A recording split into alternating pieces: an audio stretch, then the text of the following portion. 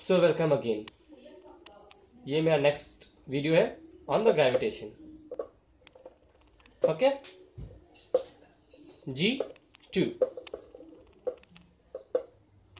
मुझे माफ़ कीजिएगा, मैंने पिछले वीडियो में, अपने फ़र्स्ट वीडियो में नीट फ़ेज़ टू बोल दिया था. That is absolutely not it is only NEET phase one so let's start our topic on gravitation part two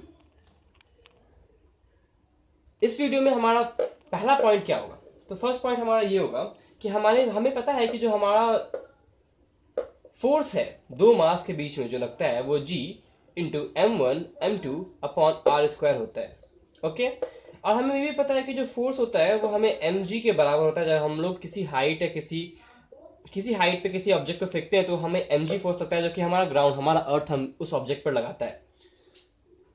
So if we calculate the g, the gravitational acceleration from this formula, then we would get that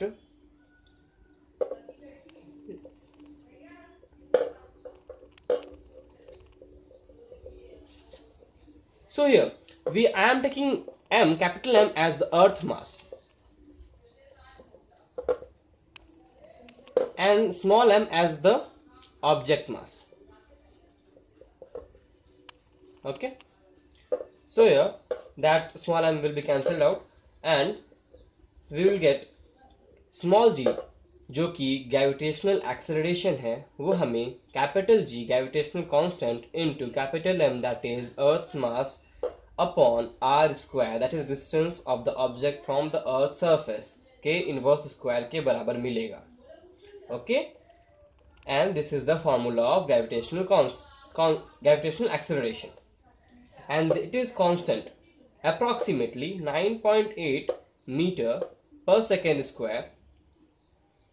Okay? And for the ease of calculation we can take it as 10 meter per second square. So let's move on to the next point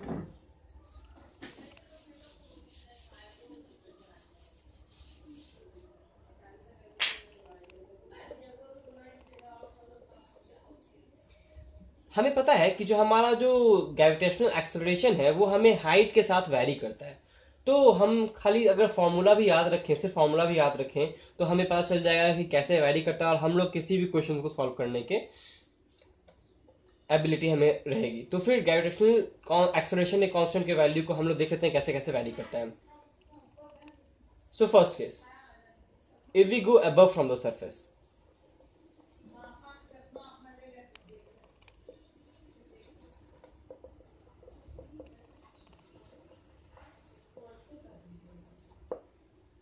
So this is the earth surface and this is the radius of the earth.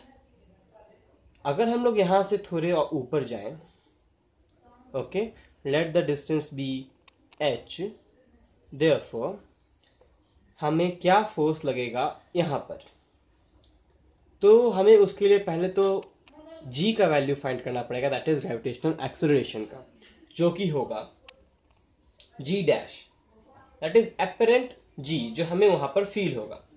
Okay which will be equal to G dash is equal to G into capital R upon R plus H whole square okay and also we can find out the G dash by this formula also small G upon small G into one minus 2h upon r okay so where to use these formulas this formula is used when the this h is much much smaller than r और से h अगर हमारा क्या बोलते हैं आपको 32 kilometre 64 kilometre 100 kilometres और 46 kilometres like that it can be also 1000 kilometers तो हमें एच को इस फॉर्मूला को यूज़ करना है ओके और अगर हमारा एच जो है वो कंपेरेटिवली इक्वल रहेगा आर के that is it can be equal to R और it can be thirty six hundred kilometres और it can be forty eight hundred kilometres so we can use this formula you have to remember the radius of the earth is equal to 6400 kilometers. Okay? Thank you